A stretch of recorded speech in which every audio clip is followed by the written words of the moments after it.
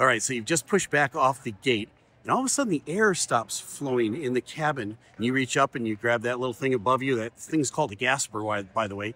And you turn it and you try to open it up, and air's really not coming out of it. And you're looking around and it's getting a little stuffy, and the other passengers are trying to do that. And you're thinking, what just happened? Well, here's what just happened. I started the engines. And when I go to start my engines, I need air to turn those big old turbines out there in those jet engines. I need all the air I can get. So the air I was normally using for air conditioning and airflow throughout the cabin, I borrow for about 60 to 90 seconds. It takes me that long to get the engines started. Once the engines get started, everything is automatic. It all comes right back online. The air conditioners start working again and the air starts flowing and you go, ah, I can breathe again. All right. You're in no danger, my friends. It's just a little bit of reduced airflow while I'm starting my engines. And now you know. I'm Captain Steve. Fly safe. Wait, don't go yet. Do me a favor. Become Captain Steve's new best friend. Hit the like button, uh, share, and subscribe.